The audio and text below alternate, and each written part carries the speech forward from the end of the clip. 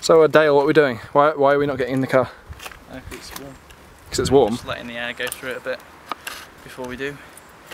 Dale, you're, you're being ridiculous. Um, you're being silly. I don't think the hot car is gonna be that hot. Just because, okay, just because it's black, Dale thinks it's absorbed heat and, Hotter than the and it's gonna. Damn it! That's my. I was gonna do that. I was gonna get in and go.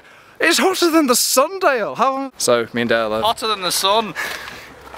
We're just gonna get into the car. Hotter than the sun. Oh, Dale, how long's the car been here? Hotter than the sun. It's hotter than the sun. Yeah. It's actually not too bad now.